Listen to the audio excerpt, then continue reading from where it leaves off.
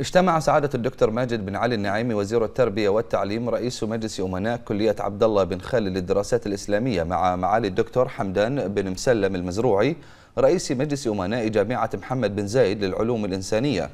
وتم خلال الاجتماع بحث سبل التعاون والمشاريع والبرامج التطويرية بين هاتين المؤسستين التربويتين وذلك انطلاقا من عمق العلاقات الأخوية الوثيقة بين البلدين الشقيقين. كما التقى كل من سعادة وزير التربية والتعليم رئيس مجلس أمناء كلية عبد الله بن خالد للدراسات الإسلامية وكذلك معالي رئيس مجلس أمناء جامعة محمد بن زايد للعلوم الإنسانية بالطلبة البحرينيين الدارسين بمختلف المراحل الدراسية في هذه الجامعة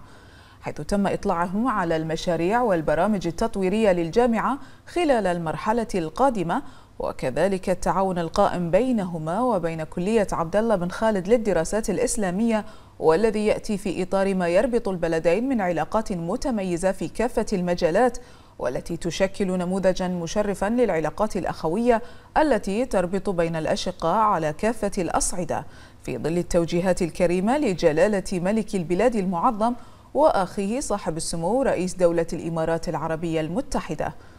معربا سعادة الوزير عن شكره بما يحظى به الطلبة البحرينيون الدارسون في هذه الجامعة من رعاية واهتمام وكذلك مساواتهم بأشقائهم الطلبة من أبناء دولة الإمارات العربية المتحدة الشقيقة.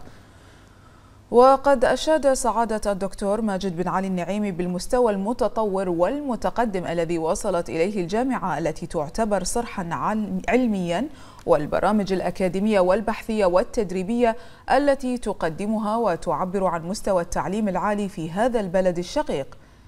كما أشاد معالي الدكتور حمدان بن مسلم المزروعي رئيس مجلس أمناء جامعة محمد بن زايد للعلوم الإنسانية بالمستوى المشرف للطلبة البحرينيين الدارسين في الجامعة وما يبذلونه من جهود طيبة أثناء دراستهم متمنيا لهم دوام التوفيق والنجاح.